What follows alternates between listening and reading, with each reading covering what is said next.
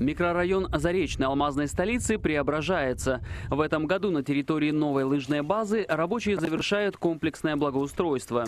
Здесь появится освещение, зимняя горка и универсальная спортплощадка.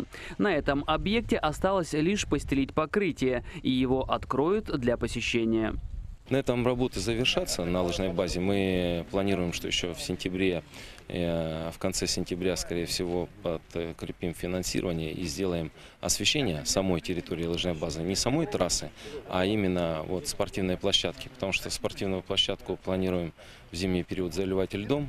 Мы уже приобрели коньки и будет прокат коньков. И спортивная площадка в зимний период будет использоваться как летняя ледовая арена. Ой, зимняя ледовая арена бесплатная для наших жителей.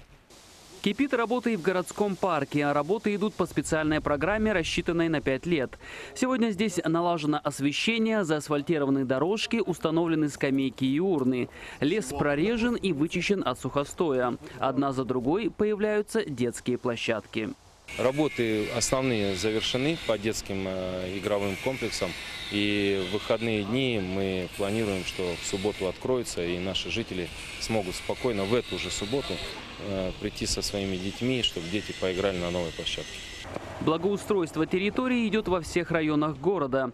Где-то возводят новые пешеходные дорожки, где-то меняют старые кубовые, чтобы у жителей частного сектора был доступ к питьевой воде. Сейчас воду набирали, она чистая была. Чистая вода, да, хорошая вода. Потому что кубовая новая, а когда старая стояла, грязная. Старая, да, грязноватая была. Там, естественно, бочка грязная, все новое. Масштабные работы без поддержки Алроса были бы невозможны. Только в 2016 году на благоустройство города компания выделила более 50 миллионов рублей. На следующий год финансовая помощь от алмазодобытчиков может превысить 200 миллионов. Ведь Мирный – алмазная столица России. И этому званию город должен соответствовать. Роман Муконин, Илья Засухин, телеканал «Алмазный край».